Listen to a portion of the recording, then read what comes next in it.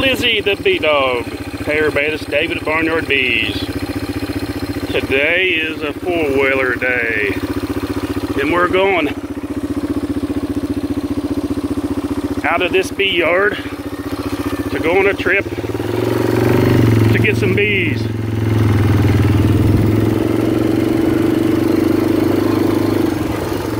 And she'll follow me the whole way. Lizzie the bee dog goes everywhere with us.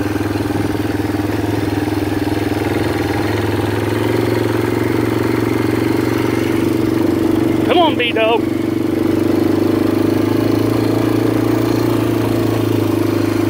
I'll put this on pause and resume when we get out there a little ways. Okay, got past the bumpy part. Going through the field. We just got a small group of bees out here on the neighbor's property. I'm gonna build this up a lot bigger here in a, about a week or so after I can come out here and get this mowed off. This is kind of a mess out here, kind of, excuse the, the bee mess. But what we're doing, we got a small order going out today of three, and I just have two on the four-wheeler, then I have to go back and get another one in my other yard, but haven't been out in this yard for a while. And as you can see, these these hives here are pretty. It's still fairly early in the morning, so well, not that early, but the bees look pretty good. And that right there is a nuke that actually didn't make it over the winter, and I hadn't cleaned it up yet. But what I plan on doing, this is a beautiful place out here. It's a, it's across from my property and uh, my neighbor gave me this to use for a bee yard. And I usually keep it mowed for him, but I haven't been out here in a while, so I'm gonna mow this down and we're gonna start putting some stands out here in this little section right here. Then he gave me another section that we'll probably put some in, so I just wanted everybody to see. That was kind of, we'll see what these bees look like. Let's get in them see what they look like. As you can see, this is why you need to get into your hives more often what you do.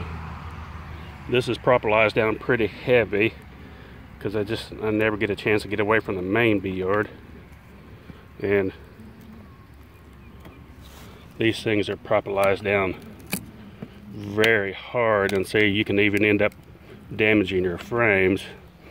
Always try to put pressure in between these bars right here. If you try right here, what'll happen is you'll break this off. So always try to, if you get through your hives a lot, you won't have to worry about this. But if you try to pry like right here, you're gonna break that off. So if it's a hive that's not been into for a while, go in between those bars like that and pry across like that. See how those, these are really, really tight. Because this is an example of one that just hasn't been gone through. So busy with the other bee yard, I just not got a chance to get over here. So, and always, new beekeepers, when you pull out your frames, never, ever, ever pull out frames in the middle, ever. And when you smoke, roll your little bit of smoke across like such. And the side you decide to go down on, uh, usually what I do, I don't pick one side or the other. I look at the side that looks like it has less honey because your honey is on your outside frames. And it's usually bulging more on one side than it is the other. The side that's less bulging is the side I pull out. So doing that, you won't roll the queen a chance near as much of rolling the queen if the honey is not bulging out. Because if it's bulging out and you go to pull this, that queen's right there, you're gonna roll her. So that's exactly why you want to pull one of the outside frames because chances are the, the, the brood's gonna be on the inside, more the inside. And what you can do too is roll you a little bit of smoke down the frame you decide you're gonna pull down. Wait a minute, give her a chance to move out of the way and then you can pull it out. Like, like I said, this hive here is a fine example of one that just hasn't been going through. So we'll get in there see what we got. I don't know really what kind of shape these are in over here. They looks like quite a few bees in there.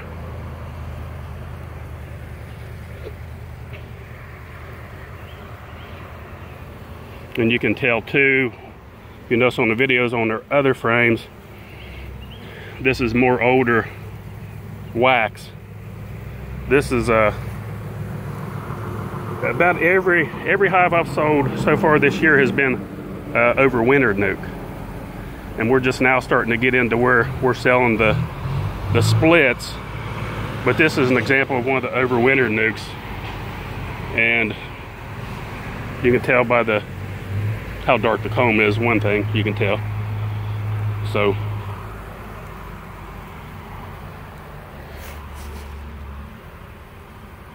I always try to, when you set your frame down, try to set it down gently and kind of work back and forth and move the bees out of the way.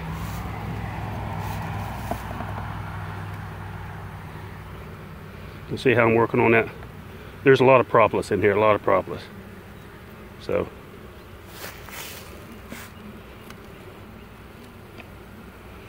And I know people like you like when I use a tripod, but sometimes you just can't use a tripod.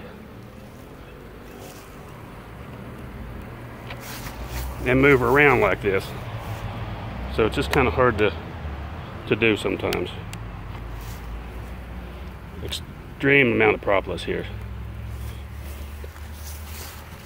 And that's why you want to get into your frames a lot because this is what will happen. See right here, this frame's actually coming apart, but it only, when the staple, it only one staple for some reason was put in there.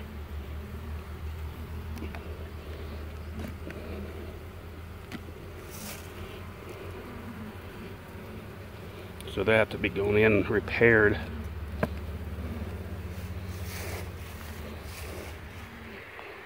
But here's an example too about people talking about bees being friendly the more you go in them. That's not really true. Uh, it's still in the genetics. These bees haven't been going through. this is probably the second time this year, to be truthful. So once very early in the season and then now. So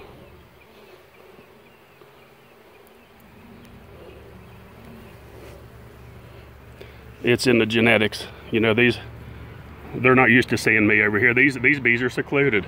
There's nothing that comes over here. They don't see anybody.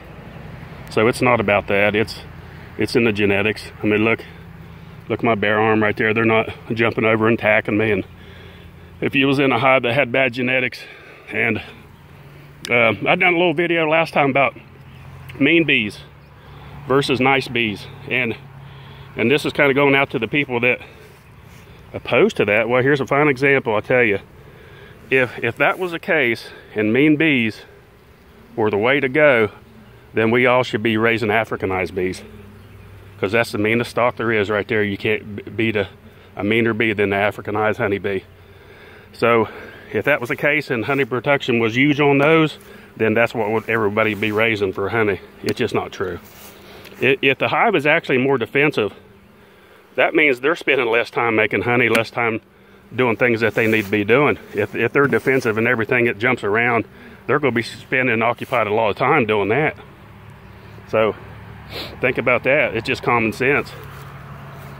Uh, one advantage I would give to the meaner bees is that they would be better at protecting their hive. They'd be better at protecting from against skunks, anything that would get into the hives. But as far as black bears goes, I don't care how mean the hive is. Uh, if a black bear decides to go in your hive, mean bee or no bee, they're going in it and they're going to take it and they're going to destroy it. It doesn't matter if it's an Africanized bee or a general stock of bees like this, it really just doesn't matter. But so think about that. It's just it's just common sense.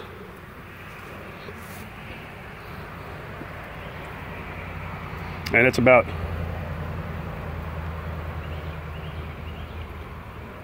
good management. You know, there's a, from what I'm seeing here, these bees And just by looking at them, and it, it looks to me like they have already swarmed out.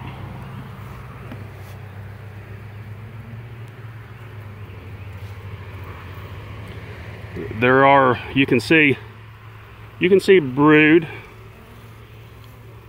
but probably what happened was there should be tons of capped brood in here and there's not and the population should be overwhelmingly populated and it's, and it's not and what's happened i can tell just by experience these bees have swarmed out once and they're and they're just now starting to repopulate. So that's what's going on here. I can tell by the the amount of brood that's in here the amount of bees that's in here. Uh, it looks like the they've uh, come back like the queen looks like they've swarmed out uh, they've made queen cells. She's hatched come back and they're repopulating. There's a little bit of capped brood right there so this has probably happened well more than a month ago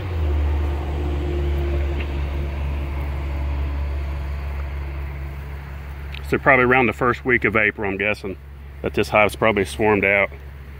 And you, I can see all stages of brood in there now. I can see young larvae, especially in this frame right here. And because when I come out here at the first of the year, there was a lot more bees in this. So that's why you need to go through your hives because they will up and swarm on you. You know, they they get overpopulated. You, they become honey, honey bound or this, she's laid up all the cells and there's no room. That's what'll happen. I've not come across her yet. Right, you can't, I know you won't be able to see today on the video, but there's fresh eggs right there that I can see. So, that's what's happened there. So I'm gonna go on and I'm gonna look for the queen. I'm gonna move this hive on out and sell it. And move it to its staging hive, let it grow out a little bit where I can keep an eye on it, feed it out good. But that's today's video. I just thought I'd share and wanted the new beekeepers to see that about how to pour your frames out, start on the outside, always remember that and go through your highs because if not you'll be propolised like this thing was. It's just really tight. So that's it for today. Thanks for watching. Barnyard bees